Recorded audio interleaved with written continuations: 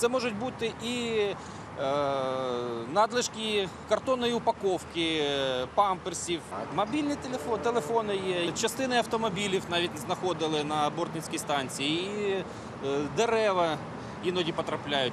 Вимивають сміття гідродинамічною установкою, що розпирскує воду в різних напрямках під тиском понад 150 бар. Таке очищення не пошкоджує стінки трубопроводу, запевняють фахівці. Але найголовніше – не дати зайвому бруду потрапити до загальноміської мережі. Це одна з основних функцій ось цієї машини. На цьому автомобілі також установлений насос е, вакуумний, е, який е, по типу дії пилосмока так, просто витягує е, все, що вимилося з каналізації. От воно вимивається і відразу моментально втягується в машину, в цю ємність. Все зібране вивозиться на спеціалізовані станції. Саме таким чином треба прочищати трубопроводи, наголошують у Київводоканалі. А так роблять далеко не всі компанії. Вони вимивають сміття у міську мережу та закорковуються, і комунальники змушені залишати мешканців без водопостачання.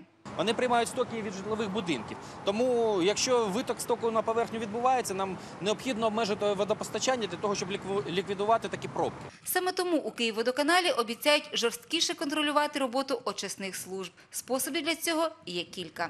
По інгредієнтам, які є в стічних водах, по їх концентрації, ми можемо зробити висновок, е, чи правильно чи неправильно ці е, прочищені ці мережі.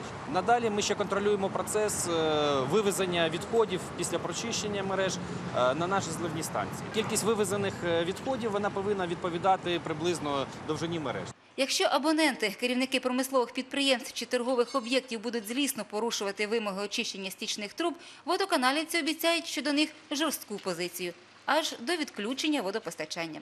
Світлана Жернок, Андрій Дудков, телеканал Київ. Побувати на місці Леніна таку змогу матимуть кияни протягом тижня, починаючи вже від цієї суботи. На Бесарабці, де колись стояв пам'ятник червоному вождю, нині облаштовують нову мистецьку інсталяцію. Її вигляд дуже простий: п'єдестал зі сходами, на який зможе піднятися кожен охочий. Ідея належить мексиканській художниці Синтії Гутьєрес. Вона впевнена, щоб розібратися у минулому, необхідно оселитися у його тінях. Простіше кажучи, тимчасовий монумент дає можливість кожній людині відчути себе живою скульптурою і зрозуміти, залишити це місце порожнім чи встановити тут пам'ятник. Это, мне ка- на мой взгляд, очень э, демократичная идея, потому что она позволит э, каждому желающему хотя бы временно занять э, место монумента, почувствовать себя э, монументом, может быть, да, и м, таким образом переосмыслить свое отношение к памятникам, э, памятным объектам, декоммунизации и всем тем процессам, которые сейчас в обществе происходят. Ось таким видався четвер. Нехай завтрашній день буде кращим, тільки з добрими новинами. Ну а я з вами прощаюсь до завтра. Далі дивіться новини спорту. Хай вам щастить.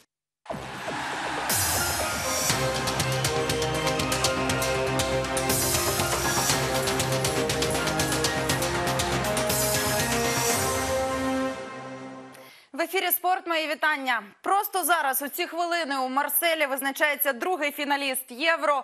У півфіналі зійшлися Німеччина та Франція. Наразі триває другий тайм. Рахунок 0-1 на користь господарів Євро. Відзначився Грізман. Нагадаємо, що у фіналі переможець цього протистояння зустрінеться з Португалією. Десятому буде інтерконтинентальний чемпіон за версією WBO у важкій вазі. Українець Олександр Усик 17 вересня проведе свій ювілейний поєдинок на професійному ринзі. Він вийде на двобій у польському Гданську з чемпіоном світу за версією WBO Кшиштофом Гловацьким. Сьогодні у столиці України майбутні суперники по рингу зустрілися з представниками змі, аби розповісти про підготовку до майбутнього титульного бою. Вона не відрізнятиметься від попередніх. Усик готуватиметься у Буковелі, не повертаючись до Києва на спаринги. А Гловацький спочатку вирушить до моря, утім закінчить підготовку в Варшаві. Щоб якомога більше українців побачили бій на Ерго-арені наживо, промоутери пообіцяли посприяти в організації виїзду шанувальників Усика до Польщі. Этот парень выходит и делает свою работу великолепно, да, то есть он не сдается, у него большое сердце, он идет до конца. Ребят, я тоже не буду сдаваться и буду идти до конца, и у нас получится очень сильный и большой бой. Я не считаю, э, что я второй номер. Два парня сильных выходят и будут боксировать. Да, Кшиштов э, чемпион мира. Я стану чемпионом мира. Олександр, готуючись до бою зі мною, напевно, використає нові підходи у стилі, якісь новинки. Цей бій буде не таким, як раніше. Він знайде, як завжди, щось нове. Не буду говорити про вади. Для мене зараз важлива робота у тренувальній залі. І я сподіваюся, що з рингу ми вийдемо обоє здоровими і переможе сильніший. А кадетська і юнацька жіночі збірні України з баскетболу провели товариський матч. Наразі обидві команди готуються у Пущі-Водиці до чемпіонату Європи Ю-18 і Ю-16 відповідно. В усіх ігрових епізодах на майданчику було помітно, що гравці намагаються виконувати тренерські настанови і сповнені бажання перемогти. Олександр Чередніченко з 16-річними лише розпочав підготовку, тож йому важливо було побачити, хто здатен досягати результату, а кому ще треба шліфувати майстерність у клубах.